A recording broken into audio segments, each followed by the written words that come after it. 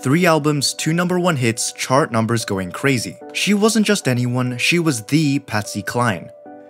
Hurt me now, get it over. She was a star with an angelic voice, but just when the world thought she was unstoppable, tragedy struck.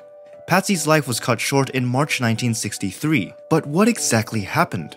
She was born in Virginia, but hey, life wasn't all sunshine and rainbows for Patsy growing up. Nope, she faced her fair share of tough times. Money was tight and her family had to scrape by. And if that wasn't enough, family life wasn't exactly smooth sailing either. They had to move more than 19 times. Her family moved 19 times. He would go many, many places to seek work.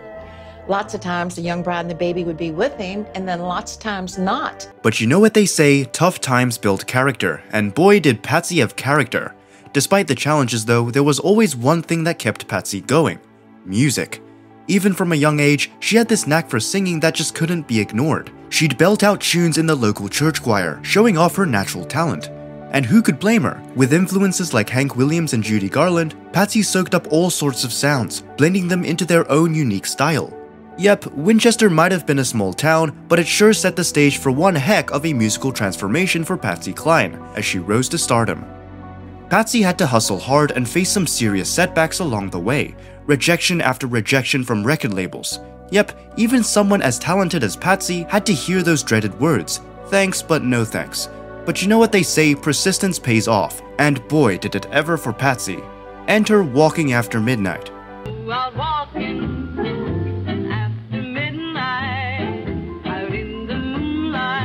This song was like her golden ticket to the big leagues. It shut up the charts and put Patsy on the map in a big way.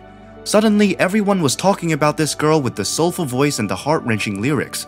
And let me tell you, Patsy had a way of tugging at your heartstrings like nobody else.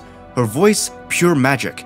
It had this raw emotional quality that just hit you right in the feels. Whether she was singing about love, heartache, or longing, you couldn't help but feel every word deep down in your soul. That's the thing about Patsy Cline. She didn't just sing songs, she told stories.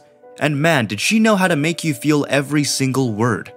It was that ability to connect with her audience on a real emotional level that set Patsy apart from the rest. And before you knew it, she was on top of the world, captivating audiences everywhere with that one-of-a-kind voice of hers. But what about her personal life?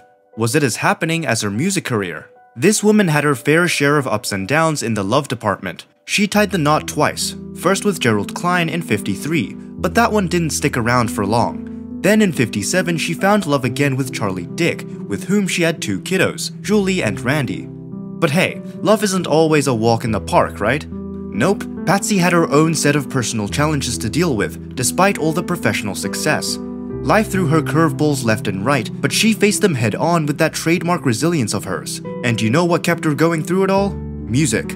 Yep, even when things got tough, Patsy's passion for music never wavered. It was her rock, her solace, her escape from the chaos of everyday life. No matter what she was going through, you could always find her belting out tunes, pouring her heart and soul into every note. She lived and breathed music, and nothing could ever take that away from her, until she passed away in a tragic crash. Patsy Cline performed at Memorial Hall in KCK on March 3rd of 1963. Two days later, she died in a plane crash on her way home to Nashville. It was March 5, 1963, when tragedy struck near Camden, Tennessee. The time was around 6:20 p.m. Patsy, along with her fellow country music stars, Hawkshaw Hawkins and Cowboy Copas, were on board a plane which crashed into a forest. They were heading home to Nashville after a show. But the weather was terrible, a storm had just blown over. Reports say there were high winds and rough skies. Despite warnings, they decided to push on. The pilot, Patsy's manager Randy Hughes, was determined to make it home. It's really sad to say, but that choice ended up being a tragedy. You see, the plane ended up crashing right into a dense forest, and sadly, everyone who was on board lost their lives in an instant. It was just terrible. After the crash, experts got involved to figure out what exactly went wrong. They found that the bad weather played a big part of the disaster. Mother Nature can be pretty unpredictable sometimes, but here's the really heartbreaking part of the story. Patsy, one of the passengers, had been feeling this sense of doom for months leading up to the crash. Can you imagine? She even confided in her friends, telling them that she didn't think she'd live for much longer. It's like she had this gut feeling that something bad was going to happen, and unfortunately, she was right. And to make matters worse, when they finally found the crash site, it was a complete mess. Wreckage was scattered everywhere, making it even more devastating. Just a tragic situation all around. But even in the chaos, those investigators had a real puzzle on their hands. They were trying to figure out who was who among the wreckage. Now, let me tell you about Patsy. She had this little trinket, her lucky charm, if you will, a Confederate flag cigarette lighter that played that old tune Dixie. Can you imagine? Well, they stumbled upon that, along with her wristwatch and a belt with her name all sparkly on it. Those items were like breadcrumbs, leading them to confirm it was her.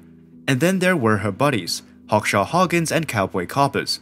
They had a few items which would eventually help identify them as well. You see, everyone's got their thing, right? Well, those belongings of theirs came in handy during the whole identification ordeal. It's like each of them had left a little trail of themselves behind, helping those investigators put the pieces together in that tragic situation. It was a tough job, but eventually they managed to put names to the victims. As the first person at the crash site explained in this video, her body was in a brutal condition, however her torso was intact, and her hair helped them identify her body. She was wedged in under a log, partly. At the very far end, her torso was always intact, and part of her head and her long black hair was identifiable reason we knew it was her. Even though Patsy's not around anymore, her impact is still felt far and wide. She's been honored with all sorts of awards and accolades, even getting inducted into the Country Music Hall of Fame. Talk about a big deal! But it doesn't stop there. Patsy's music lives on through cover songs, media features, and heartfelt tributes. Artists of all stripes continue to pay homage to her timeless tunes, keeping her spirit alive for new generations to discover and enjoy. Yep, Patsy Cline may be gone, but her legacy, it's here to stay, reminding us all of the incredible talent and passion she brought to the world of music. From her humble beginnings in Winchester, Virginia, to her rise as a country music legend, Patsy's life was nothing short of remarkable. She faced challenges head on, conquered the music scene with her soul stirring voice, and left a lasting mark on the hearts of fans worldwide. But as they say, every story has its end, and Patsy's was tragically cut short. Even in her passing, her legacy lives on, shining brightly in the world of music history. Her songs continue to resonate, her voice still touches souls, and her spirit remains alive in the hearts of those who love her music. So here's an invitation to all you lovely viewers. Share your favorite Patsy Cline songs or memories in the comments below.